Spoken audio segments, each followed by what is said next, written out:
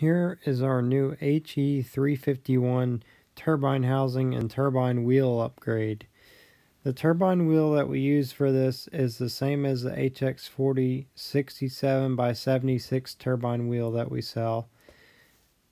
And the turbine housing we had uh, custom made. It's recast as an HE351 CW and then we had it machined out for a the 67 by 76 turbine wheel. We recommend using this turbine wheel and turbine housing upgrade even if you just have a regular HE351. The reason why is because the HE351 already has an HX40 compressor wheel which is 60 by 86 millimeter. Now the HE341 had two different versions. One had a 56 millimeter by 78 millimeter wheel, and the other one was a 54 by 78 millimeter wheel, which is the same as the HX35. However, I prefer just to use the HX40 compressor wheel at minimum, which is the 60 by 86, which is the same in the HE351 CW.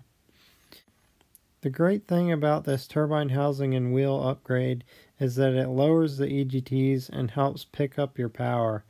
The thing that really lacks on the HE351 CW is the turbine housing being too small. We are able to make up for the small turbine housing size by going with this larger turbine wheel. So this will help lower the EGTs and as some diesel people say, lowers the drive pressure. This turbine wheel upgrade is a necessary component for the compressor wheel upgrade.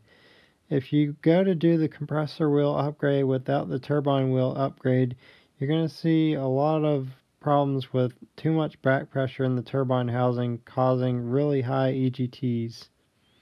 So make sure that you don't cheap out on an upgrade like that and just go with the larger turbine wheel, whether you have to buy the turbine housing and wheel from us or have somebody or us machine your turbine housing and sell you the wheel to match.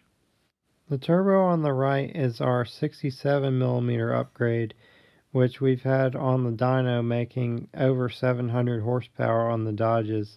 The turbo on the left is our 63 by 99 compressor upgrade.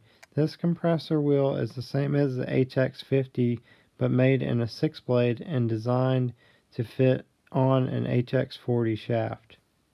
The great thing about this turbine housing and wheel upgrade is that you don't have to machine your turbine housing any longer because you can just replace it. The problem with machining the original turbine housing is that it's really hard to line up on the machine but once you have it lined up, it's really not that hard to machine it, but you do have to take a porting tool on the inside of the turbine housing to cut down the edges because the housing was not made for that tall of a tip height of a turbine wheel. If you do decide to just buy our turbine wheel, be sure to machine your turbine housing out to 0.7 millimeter larger than your turbine wheel. Also, the distance between the radius of the turbine wheel to the turbine wheel itself when mounted is 20 thousandths. You can measure this distance using a dial indicator and the original heat shield, knowing that there's 50 thousandths between the heat shield and the turbine wheel. You have to pull the dial indicator from the turbine housing to the indicator and you'll come out with 70 thousandths if you're trying to make more horsepower, increase spool, and lower your EGTs, then this is the product for you. I'll link to all the products mentioned below in the description box so you can check those out. Thank you guys so much for watching and stay tuned for more videos and products just like this one.